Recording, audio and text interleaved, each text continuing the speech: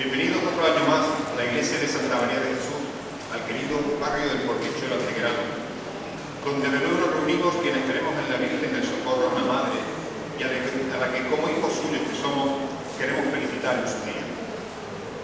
Hemos subido a rezarle en esta noche hasta su casa, donde ella siempre está esperando, y no solamente hoy en su festividad, sino todo el año, para regalarnos su ternura y amor incondicional de madre. Nadie puede tener la menor duda de que, como decía Santa Teresa de Jesús, hoy por hoy vivimos tiempos recios. Una pandemia mundial azota a todas las naciones. Las guerras y la violencia están presentes en muchos lugares y no muy lejanos en nuestro país. Las sequías, los desastres climáticos en los que anda la mano del hombre, la sobreexplotación de los recursos naturales y el maltrato del medio ambiente provocan hambrunas, desigualdades y pobreza que obligan a cada vez más personas a dejar sus hogares emigrar a otros países en busca de mejores oportunidades y una vida más próspera para ellos y sus familias.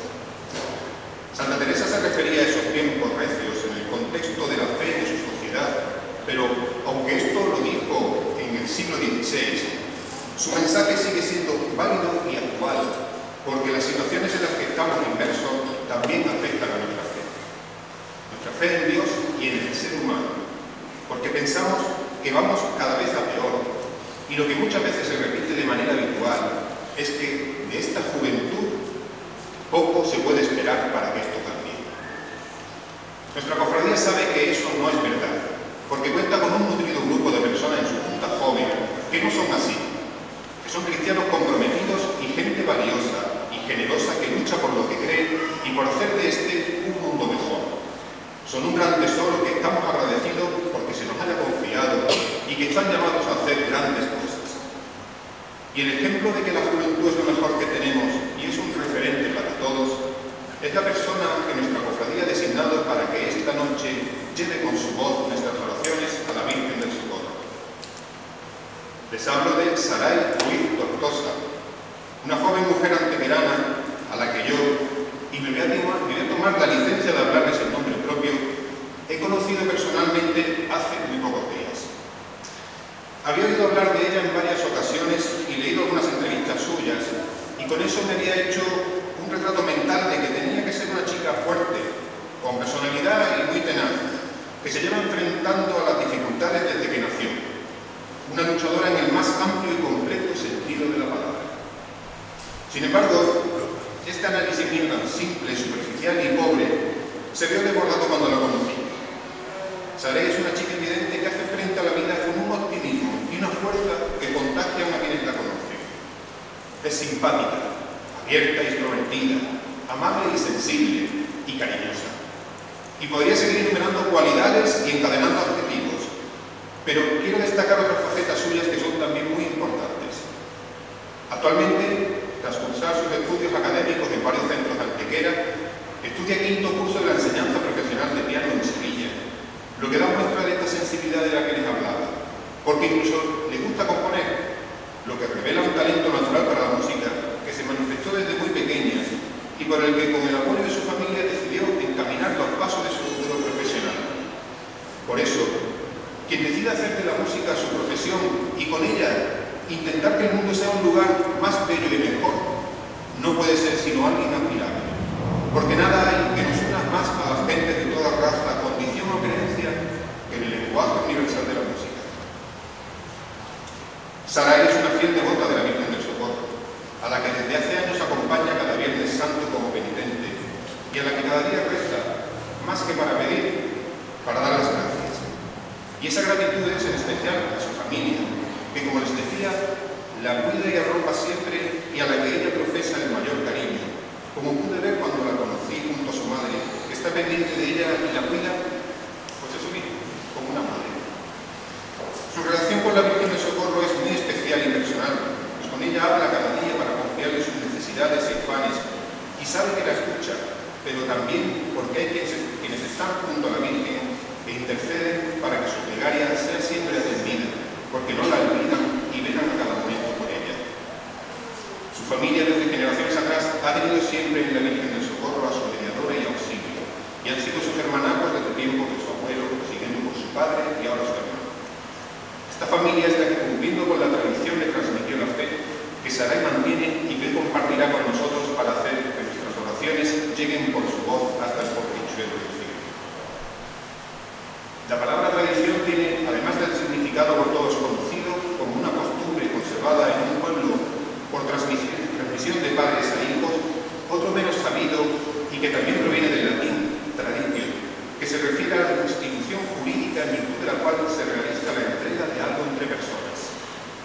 Saray, esta noche te toca a ti cumplir con esa tradición que recibiste en su día de tu familia y que ahora tienes que compartir con Antequera y tu cofradía para que con tu oración nos entregues a la Virgen del Socorro. Estamos impacientes por escucharte y rezar con nosotros.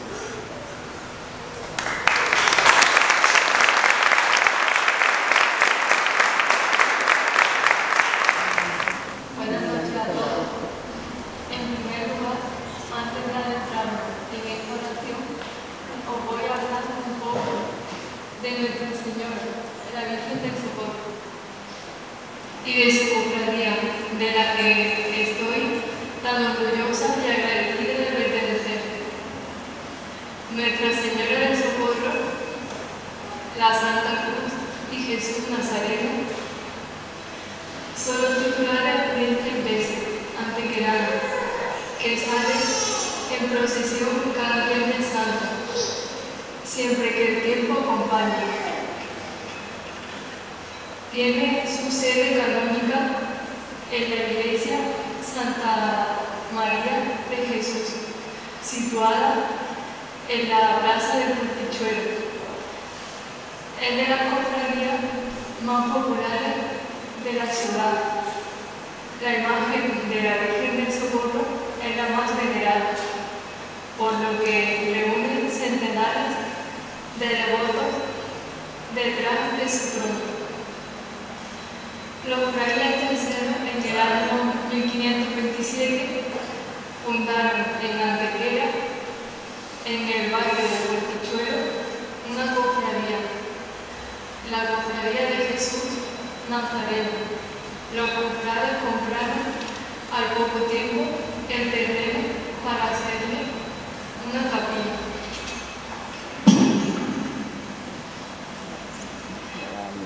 Rocío Ruiz Tortosa, hermana de la Virgen del Socorro. Mi devoción es gracias a que primero fue mi abuelo paterno y después mi padre que me llevaron desde pequeña los viernes santos por la, por la mañana a amarrar en el trono y a visitar a la Virgen. Luego, por la tarde, lo acompañábamos hasta que la enterraron. Así empecé a sentir su calor. Hoy estoy aquí para contaros mis sentimientos hacia la Virgen y hacia esta cofradía, con que espero que disfrutéis, ya que lo hago con todo mi cariño y de corazón. En primer lugar, os digo que no me puedo imaginar que el hermano mayor, Antonio, y toda la cofradía se pusiesen de acuerdo para que sea yo quien haga esta plegaria para todos ustedes aquí esta noche, que es tan especial para mí. Os digo que cuando me llamaron para darme esta noticia tan gratificante, me puse muy nerviosa. Quiero contaros también, antes de empezar la oración, cómo fue la sorpresa que me y cómo fue ese momento tan importante para mí. Una tarde yo salí del conservatorio y me monté con mi madre en el coche. Me dijo que íbamos a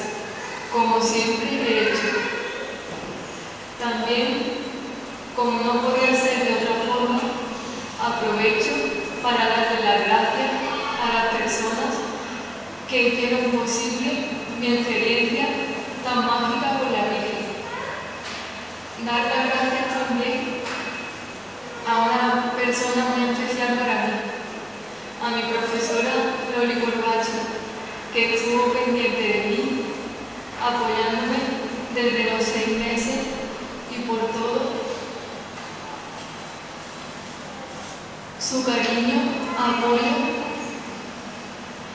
tanto a mí como a mi familia. Ha sido como mi bastón para caminar y el de algunos miembros de mi familia. Por supuesto también a mi madre y hermanos, mi padre, mi familia entera, por todo su apoyo cada día por hacerme que sea mejor como persona.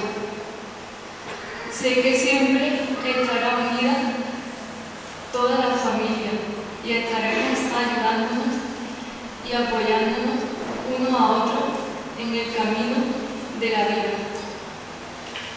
Otra persona muy especial para mí es mi abuela, a la que no puedo dejar de darle las gracias esta noche, pues para mí es muy importante y me ayuda tanto en los momentos buenos como en los malos. También me apoya siempre. Bueno, no he venido aquí para hablaros de mí, sino para hablar con la Virgen y con todos vosotros, ya que tengo hoy la oportunidad de tenerla tan cerca. Virgen del Socorro, te pido por mi familia, que tanto me apoya en los momentos buenos como en los malos, que me ayudan a salir adelante y a ser fuerte, entregándome, enseñándome que en la vida hay que superar los obstáculos. Así que salud y todo lo mejor para todos.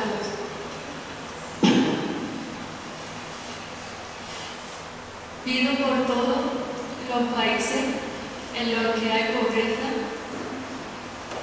y guerra para que el mundo mejore. Por toda la cofradía del socorro, que al salir cada año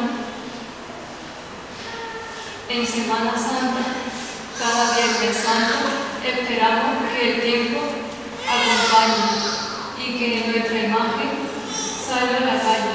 Por supuesto también por los que corren la vega cada año. Me cuentan que es una sensación muy bonita la que se siente y que lo haría muchos años más. Por mis amigos, amigas y personas que me están acompañando aquí hoy en este acto, para que tengan salud y les vaya muy bien todo lo que emprendan en sus vidas y porque puedan salir de los malos momentos y disfrutar también lo bueno. Por todos los enfermos, tanto de esta cofradía como de todo el mundo, para que la Virgen del Socorro les ayude a superar sus enfermedades el calor, el cariño y apoyo de todas sus familias. Por todos los estudiantes y trabajadores, para que les ayuden en sus proyectos de vida y tengan éxito.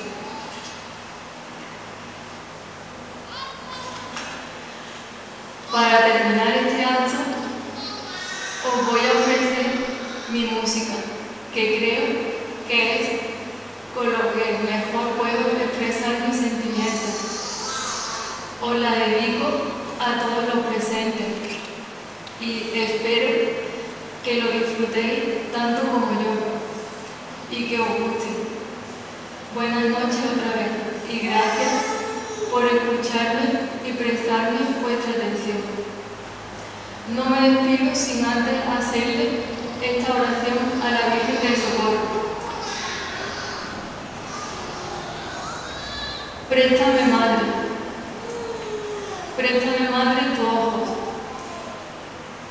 para con ellos mirar, porque si por ellos miro, nunca volveré a pecar. Préstame, Madre, tus labios, para con ellos rezar, porque si con ellos rezo, Jesús me podrá escuchar. Préstame, Madre, tu lengua para poder comulgar, pues es tu lengua paterna de amor y de santidad. Préstame, Madre, tu brazo, para poder trabajar, que así rendirá el trabajo una y mil veces más. Préstame, Madre, tus manos para cubrir mi maldad, pues cubierta con tu mano, con tu mano al cielo he de llegar. Préstame, Madre, a tu Hijo, para poderlo yo amar, si tú me das a Jesús. ¿Qué más puedo yo desear? y esa será mi dicha por toda la eternidad.